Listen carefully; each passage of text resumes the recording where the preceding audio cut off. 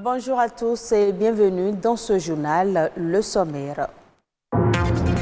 Les candidats au baccalauréat session de juillet 2020 planchent depuis ce matin sur toute l'étendue du territoire et composent les épreuves écrites dans le département du littoral. Le lancement officiel a eu lieu au CEG Segbea. Il est désormais possible d'utiliser les pailles de riz dans la construction des maisons et ceci en vue de protéger l'environnement et l'écosystème.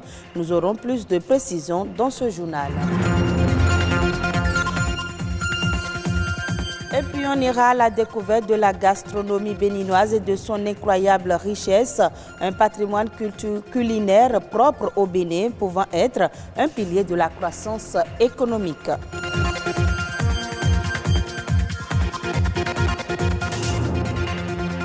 Encore trop pollueur et énergivore, le secteur du bâtiment dégage à lui seul 39% des émissions de CO2 liées à l'énergie. Pour changer les paradigmes en vue de protéger l'environnement et l'écosystème, les pailles de riz constituent des matériaux qui respectent le plus l'environnement. Quels avantages à utiliser les pailles de riz dans la construction des maisons? Christian Adadja, spécialiste de la science des matériaux, nous éclaire. Les pailles de riz sont des produits issus de la récolte du riz. Vous savez, après la récolte du riz, il y a les déchets euh, issus de cette récolte qu'on jette dans la nature. Donc nous, on récupère cela et vous savez, c'est ça les pailles de riz. Vous savez, la paille de riz est utilisée de façon ancestrale, déjà au nord de notre pays, avec euh, incorporée à la terre pour construire les greniers de stockage de céréales qui tiennent bien pour 50 ans, 60 ans, 70 ans.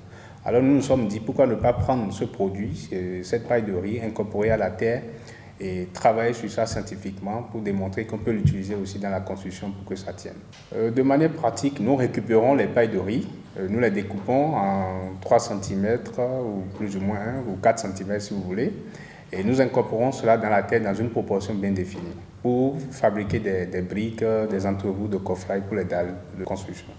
Les impacts environnementaux sont faibles lorsque vous utilisez les pailles de riz dans la construction, au détriment des matériaux conventionnels.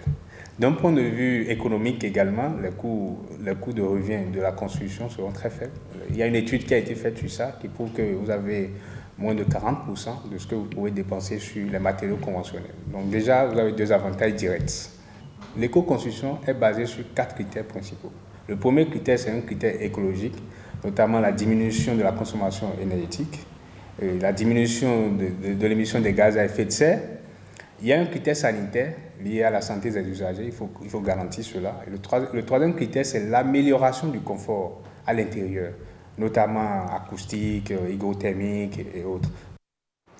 Au Bénin, l'art culinaire joue un rôle essentiel dans le développement du tourisme au point même d'être un pilier de la croissance économique et justement des initiatives privées sont prises pour valoriser et révéler aux Béninois les mets traditionnels du terroir. État des lieux des spécialités gastronomiques incontournables qui existent au Bénin avec René Kofi et Patrick Adjagoudjou. C'est dans cette cuisine que Valérie, restauratrice, vit au quotidien sa passion pour l'art culinaire. Elle prend du plaisir à concocter certains délices traditionnels pour satisfaire les papilles gustatives de ses clients. Son goût pour la cuisine vient de la diversité des recettes culinaires dont regorge le Bénin, son pays. Des recettes malheureusement en voie de disparition il y a le yoyoé. Yoyoé, c'est un plat toujours à base de farine de maïs qui est souvent consommé à Abomé, Boycon et autres. Je n'en trouve plus souvent. Il y a le avata que beaucoup de nos jeunes, la jeune génération ne connaît même pas ce que c'est. C'est une recette faite à base de feuilles de manioc et de toujours de farine. Il y a aussi abloyoki.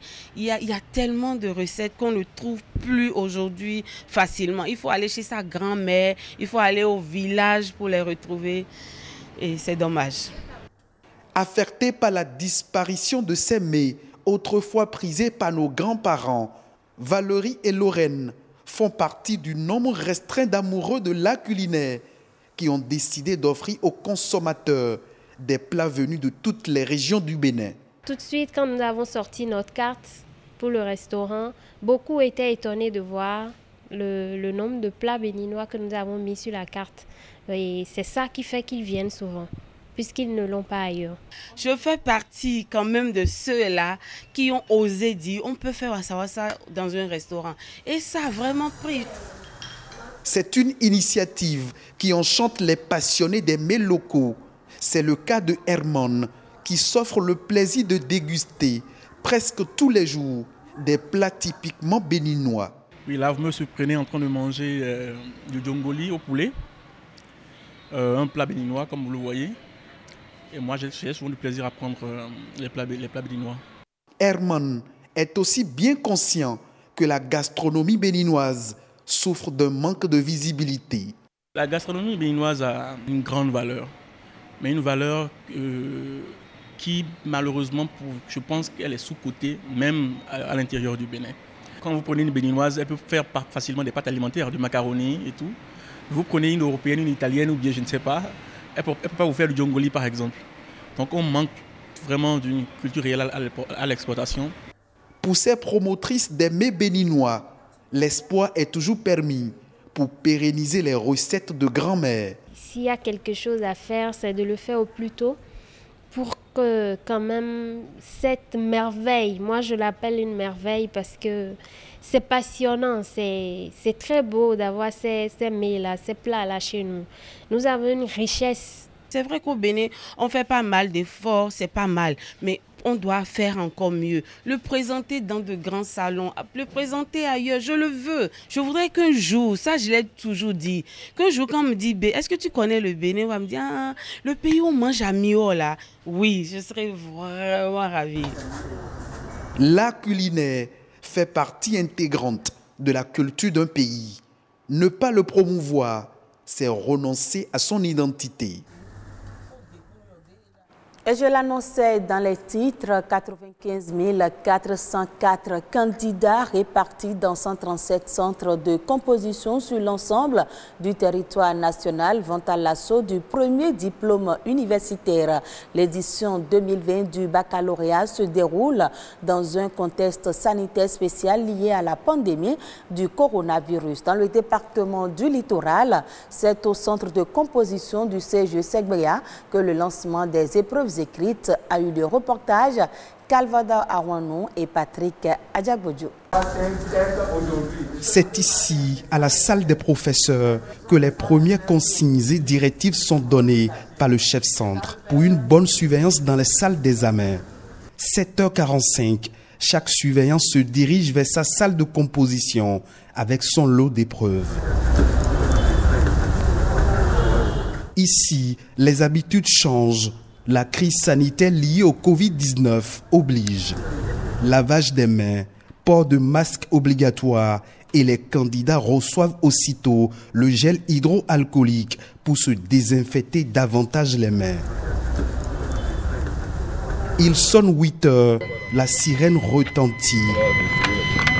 C'est le top départ de la composition des épreuves écrites du baccalauréat 2020 au centre de composition de Segbea.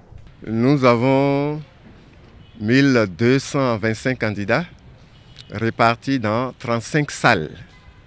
Et une particularité, nous recevons aussi des candidats euh, aveugles et amblyopes qui sont, qui sont au nombre de 8 et que nous avons rassemblés dans une salle.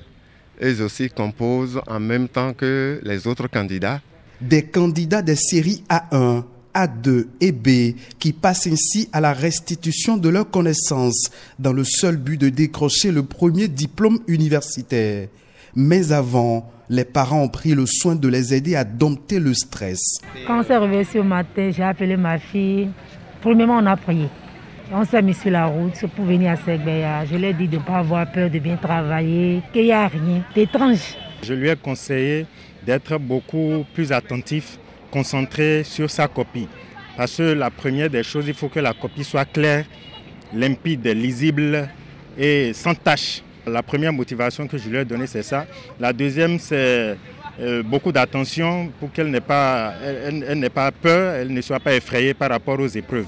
L'autorité préfectorale prodigue quelques conseils aux candidats. Il reviendra donc euh, à nos candidats de composer tout simplement maintenant en toute quiétude, en toute lucidité. Disons, ne pas se jeter sur les épreuves. C'est un examen encore une fois. Ce n'est pas un concours, donc tout le monde peut réussir. Bon déroulement de l'examen du bac et bonne chance à tous les candidats.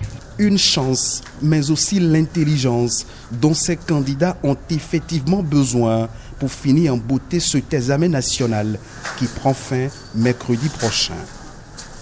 Hors du Bénin, au Sénégal, ils sont plus de 900 artistes évoluant dans le secteur des arts visuels à bénéficier du fonds Force Covid-19. L'État a débloqué une enveloppe de 500 millions de francs CFA 30 millions sont destinés à l'achat d'œuvres d'art pour le patrimoine artistique national. Quels sont les critères de sélection des artistes bénéficiaires et comment la répartition a été faite? Élément de réponse dans ce reportage de Fatou Dioufo. Les arts visuels sont gravement affectés par la pandémie à coronavirus. De nombreux artistes ont vu leurs activités et projets tomber à l'eau. Pour mieux les soutenir, l'État a mis sur la table un demi-milliard de francs CFA. L'État nous a euh, alloué 500 millions de francs CFA. Euh, et cet argent euh, est là pour aider les artistes à, reprendre leur travail parce qu'avec cette, histoire de pandémie, il y, a eu un blocage par rapport à la Biennale de Dakar qui était censée se passer et finalement ça a été reporté. 500 millions de francs CFA doivent donc être répartis entre 935 artistes. Des critères de sélection ont été définis. Une commission de sélection a été euh, mise en place dont les membres ont été nommés par euh, décret, euh, par, arrêté ministériel. Et les artistes ont, postulé, donc 402 dossiers ont été examinés.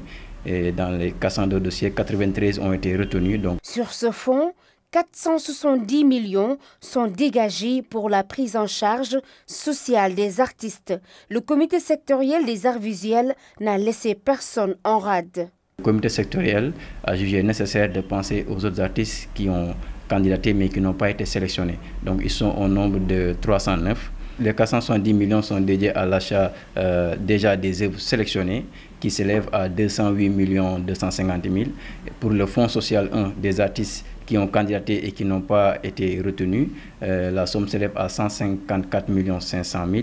Et pour les autres artistes répertoriés à travers euh, les 14 régions du Sénégal, mais qui n'ont pas candidaté pour, euh, pour ce fonds, ils recevront la somme, ils se partageront la somme de 107 250 000 francs. Les 30 millions qui restent sont destinés à l'achat de tapisseries aux manufactures des arts décoratifs de Chess.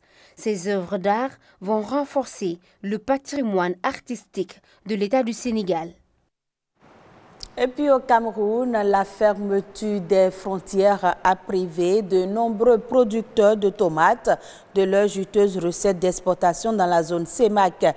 Ils ont dû se rabattre sur le marché national en cassant les prix et en sacrifiant leur rentabilité. À en croire certains revendeurs de ce produit, dans une exploitation normale, un cargo de tomates qui est vendu à 2500 francs CFA permet de dégager une marge commerciale de 30% après avoir soustrait toutes les charges et la tomate se vend à un prix plus élevé simplement parce que pour avoir la garantie de s'approvisionner, les clients venus des pays de la sous-région proposent un prix d'achat du cargo de tomates au-delà de 10 000 francs.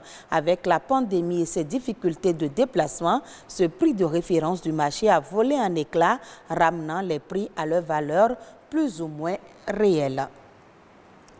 Merci à vous de nous avoir suivis. Retrouvez ce journal sur le site de l'OACTB www.oactb.bj.